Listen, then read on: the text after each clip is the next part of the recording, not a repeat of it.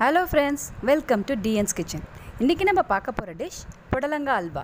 Medium size புடலங்காய் எடுத்து தோல் சீவி பொடி பொடியாக கட் பண்ணி வச்சுருக்கேன். இதை குக்கரில் போட்டுடலாம். அரை டம்ளர் தண்ணி ஊற்றிக்கலாம்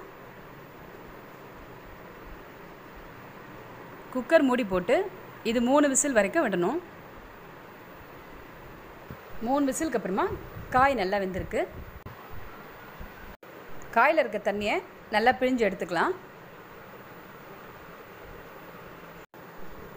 பேனில் ரெண்டு ஸ்பூன் நெய் விடலாம். புடலங்காவை நம்ம இந்த நெய்யில் சேர்த்துக்கலாம். இது நல்லா நெய்யில் வதக்கிடணும்.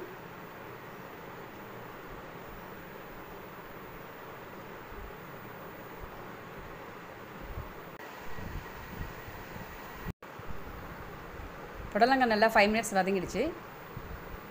கால் கப் வெல்லம் சேர்த்துக்கலாம். டயட்டில் இருக்கவங்க ஸ்வீட் சாப்பிட்ணும்னு நினச்சிங்கன்னா இது ட்ரை பண்ணி பாருங்கள் ஆனால் நெய் மட்டும் கொஞ்சமாக சேர்த்துக்கோங்க.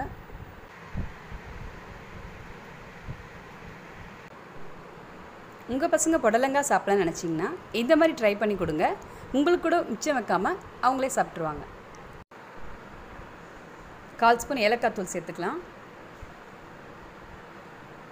வெள்ளம் நல்லா கரைஞ்சிருக்கு.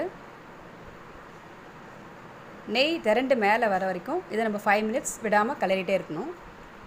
புடலங்கா அல்வா ரெடி இந்த ரெசிபி உங்களுக்கு பிடிச்சிருந்துன்னா லைக் பண்ணுங்கள் ஷேர் பண்ணுங்கள் மறக்காமல் சப்ஸ்கிரைப் பண்ணுங்கள் சமைத்து பாருங்கள் சுவைத்து மகிழுங்க.